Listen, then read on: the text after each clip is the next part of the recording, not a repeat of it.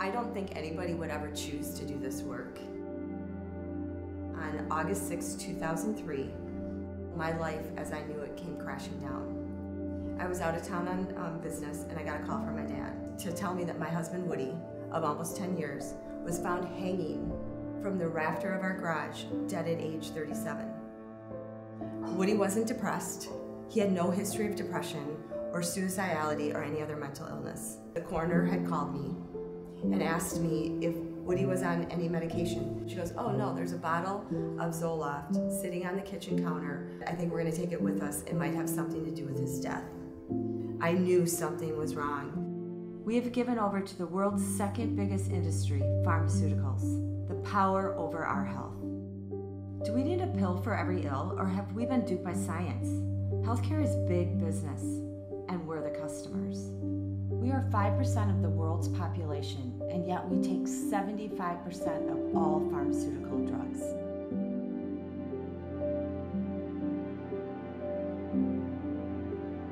In advertising and marketing of pharmaceuticals, it has uh, exponentially grown.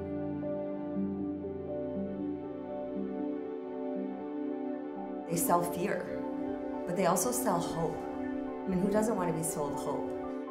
Hope has been distorted by a spider's web of business, science, marketing, and advertising. Because no one should ever have to say, How come we didn't know? It's not until when millions of people start taking these drugs that you may see harms emerge. So it's always about let's get the drugs on the market, let's get people, millions of people taking them, let's have advertising. And the safety always comes after the fact.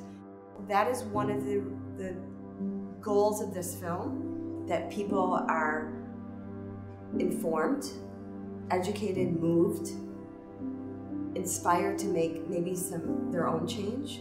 Woody might have been considered acceptable collateral damage, but for me, he was my husband.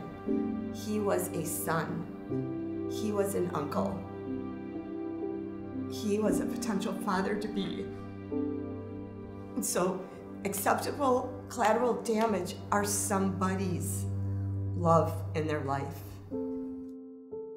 Woody used to always say to me, I will never judge my life based on how much money I make um, or my career. It'll be, I'll base it on my family, my friends, and leaving the, wor the world a better place.